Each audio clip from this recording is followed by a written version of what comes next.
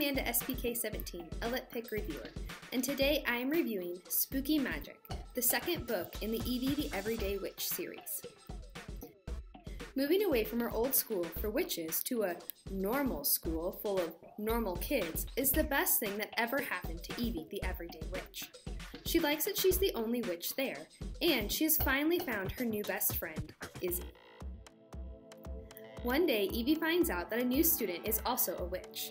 It turns out to be Veronica, her old enemy. But the greatest blow comes when Izzy asks Evie if she can sit with Veronica instead of Evie in class. Evie is convinced that not only has Veronica replaced her as the only witch, but also as Izzy's best friend. That day, Veronica proposes that the class should have a Halloween magic competition. Their teacher, Mr. Sanders, says that whoever wins won't receive any homework for the rest of the term. But when Evie gets home, she learns that the stakes are much higher than being exempt from homework. In fact, the whole world of witches is relying on her to win this competition. Will she be able to prove herself to Veronica once and for all? Will she be able to save the rights of all the witches? And will she be able to save her friendship with Izzy?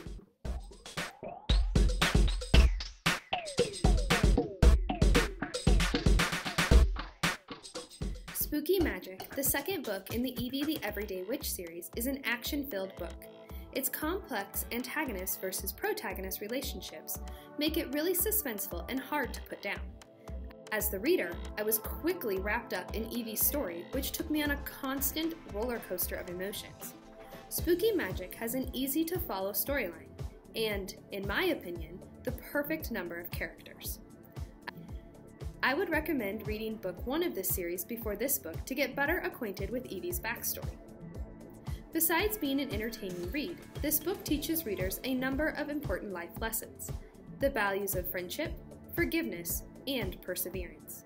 It also teaches young readers not to let difficult emotions get the best of them, and that being yourself is always the best way to be. I would recommend this book to magic lovers ages 8 to 13. If you are interested in learning more about LitPick, or having your book reviewed or becoming a LitPick reviewer yourself, check us out at www.litpick.com.